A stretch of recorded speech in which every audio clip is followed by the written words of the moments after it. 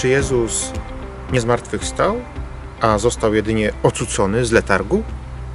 Nie, bo Rzymianie byli dokładni w zabijaniu. Gdyby pozwolili mu przeżyć, sami zostaliby straceni. Bo apostołowie stchórzy stali się odważnymi męczennikami. Co ich mogło zmienić? Spotkanie z ocuconym człowiekiem?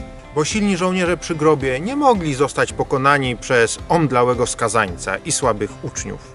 Bo Jezus w letargu nie był w stanie sam odsunąć ciężkiego kamienia u grobu. Bo ocucony, a nie zmartwychwstały skazaniec nie mógłby być czczony przez dwa tysiące lat jako zwycięzca śmierci. Może spotkanie ze zmartwychwstałym to tylko halucynacje uczniów? Pożyjemy, zobaczymy.